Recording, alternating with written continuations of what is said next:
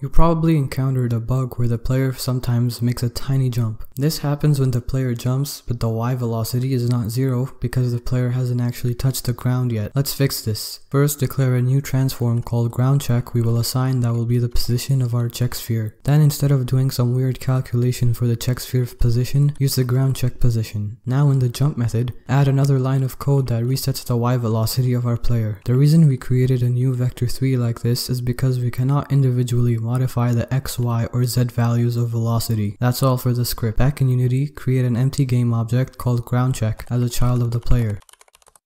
Place it at the bottom of the player and assign it to the ground check field in the player movement script. Now you can see that we do not have that issue anymore.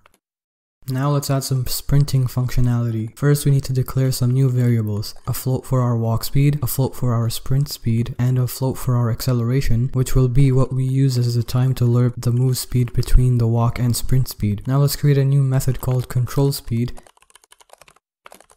and call it an update. In this method, we want to check if the player is holding down the sprint key, which we can just declare now, and I'll set it to left shift. And we also need to check if the player is grounded. If this is true, we want to lerp our move speed to our sprint speed using mathf.lerp. Pass in move speed, then pass in what we want to lerp to, which is our sprint speed, and then pass in the time, which is the acceleration. And don't forget to multiply by time.delta time. Otherwise, we want to do the same thing, but instead of lerping the move speed to the sprint speed, we want to lerp it to the walk speed. Back in Unity, make sure everything is set in the inspector and test it out, and now our player can sprint. Notice how the move speed is changing in the inspector. And now it's time for what you all have been waiting for, wall running. Create a new script called wall run and add it to your player. Open it up in Visual Studio. First we need a reference to our orientation, then we need a float for our wall distance and minimum jump height and a boolean for if there's a wall on our left. Now let's make a new method that will check if there's a wall. In the method set wall left to a physics raycast. The origin of our ray will be our transform position. The direction will be negative orientation dot right because remember we're rotating the orientation when we look around and for the max length pass in the wall distance. Don't forget to call this method an update.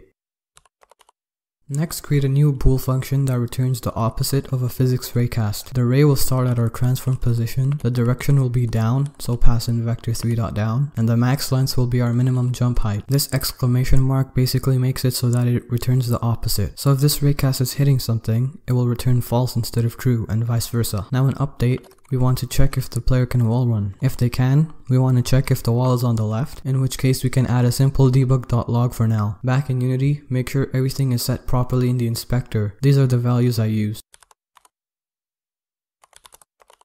And if we hit play, you can see that the console is printing the message when the player can wall run on the left. Now I have a challenge for you.